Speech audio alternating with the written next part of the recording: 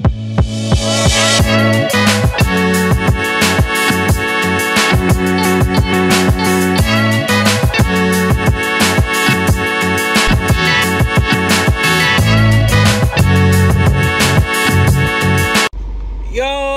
yo, it's your boy Jay Boogie back with another video today on this fantastic, fabulous Friday.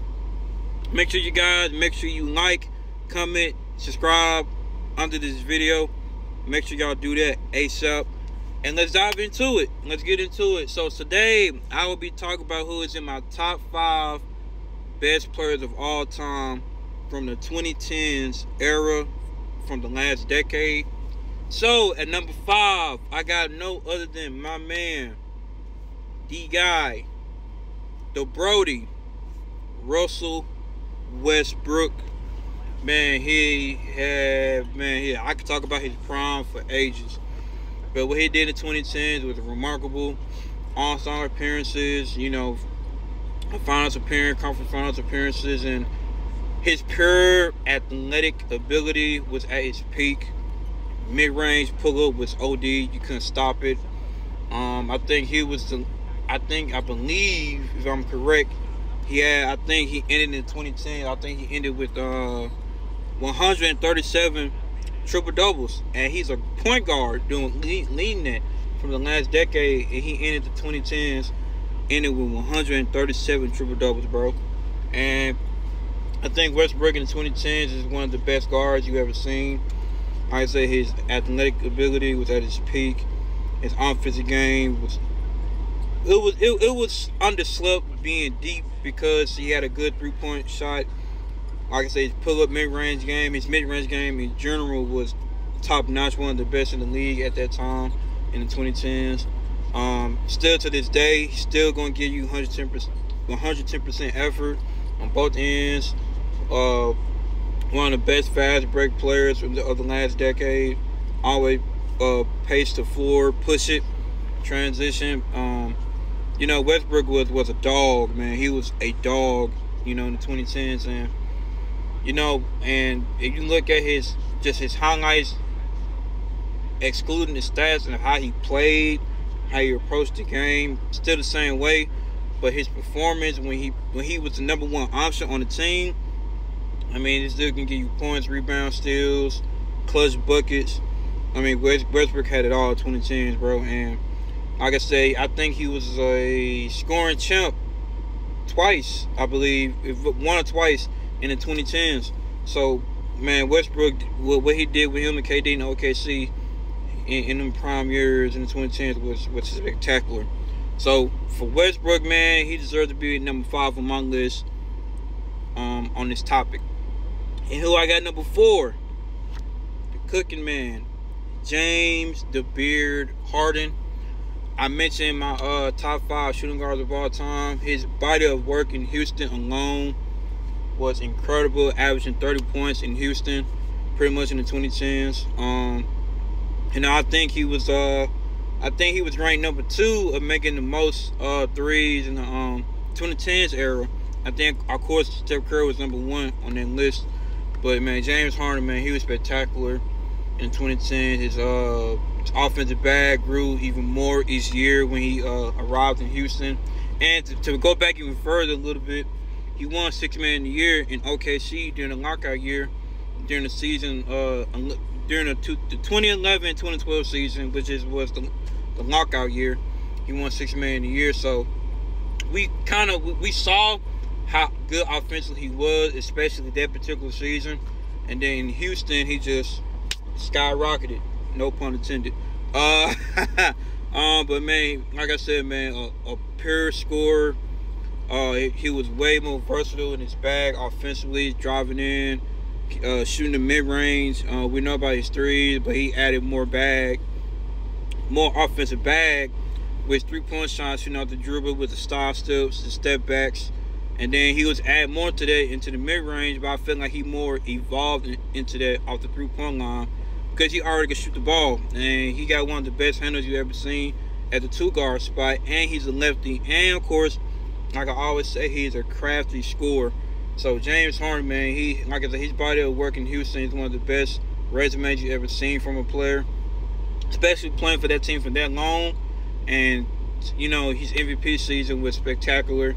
And then the year after that, when he averaged 36 a game in, in the 2018-2019 season, it's, it, it, it's absurd, man. And you know, unfortunately, he couldn't get over the hump in the 2010s with the Houston Rockets. Ever since pretty much uh, during the him, during the James Harden, Chris Paul era in the Houston Rockets, they couldn't get off the hump. But nonetheless, besides that, he was still his body of work is still incredible in the 2010s, especially with the Houston Rockets and what he done and for their franchise. And you know, he was a trendsetter with the step back threes, the side step threes, and and look at everybody doing the same thing. Shout out to Luka Doncic. and at number three, my favorite small of all time, one of my favorite scorers of all time, Kevin KD slash Durantula Durant.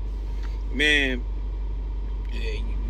hey, pure scorer, pure bucket getter, one of the best hesi pull-ups we ever seen. Had an incredible MVP year in the 2013-2014 season, averaging uh, 32 a game. Um, you know, also had one finals appearance, but can get up the hump. You know, because that's when at that time when when OKC was really rising even more. That's when Golden State and Steph Curry came about, and you know, um, the rest is history on that. but you know, he, like I said, in OKC, he still played the same way. He just back in his prime. OKC, you see in his club, he was a little bit more agile, a little bit more quicker, but still scored the same way, smooth score mid range is is is is as efficient as it gets. um, like I said, turnaround fadeaways. Uh, he just he's a smooth, nonchalant scorer, meaning nonchalant in a good way. Because you're not gonna force him to do anything out of his character, force him bad shots or whatever. But you know, this man, his body work in 2010s is spectacular, especially with OKC and Golden State. So pretty much he stayed the same player, just more more composed in terms of just how he scored the ball a little bit. Nowadays, you know, coming from Achilles injury, still dropping more than 26 a game to this day is incredible. So shout out to my boy Kevin Durant to be number three on my list. And number two, no other than the chef Steph freaking Curry. Trendsetter, changed the game, evolved the game, uh, re-identified the game um, with his three-point shooting, uh, the no-look threes, the ball handling. I mean, Steph Curry took the 2010s by storm, especially in the mid-2010s when he won back-to-back MVP. And we pretty much saw his rising potential during the 2012-2013 season when he made his uh no he didn't make an all-star that year but that's when you know he was still playing under Mark Jackson you saw how like his game was growing and he was his three point shooting was just spectacular. And he was leading and he and he's the number one leader in the 2010s at three point made of course. So that's that's a no-brainer for uh, Steph Curry.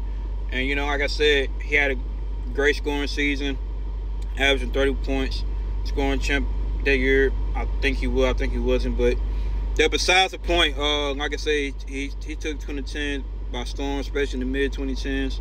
And um, like I said, his resume body of work in 2010s was spectacular.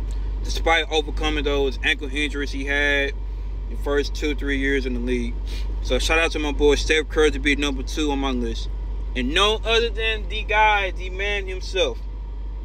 The GOAT of the 2010s, the GOAT of his era, number one, LeBron King James.